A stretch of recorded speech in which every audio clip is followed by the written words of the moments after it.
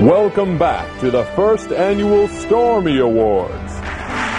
All week long, the fans have voted, and now tonight we announce the winner for Best Actress in a Lead Role. First, the nominees Sue Bird, The Princess Bride. Hello, my name is Inigo Montoya. You killed my father.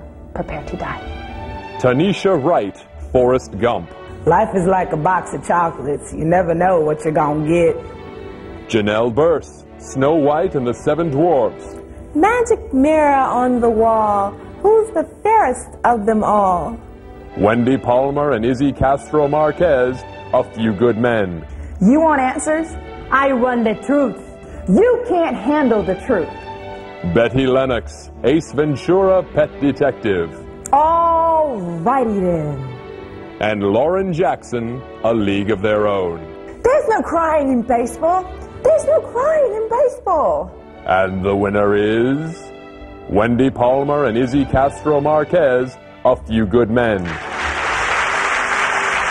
Thank you guys so much. I want to thank you, my teammates, Wendy. Without her, I couldn't do it. So thank you guys to vote for us. Thank you so much. I'm new at this, and Izi really helped me along. So, Izi, thank you to all my fans.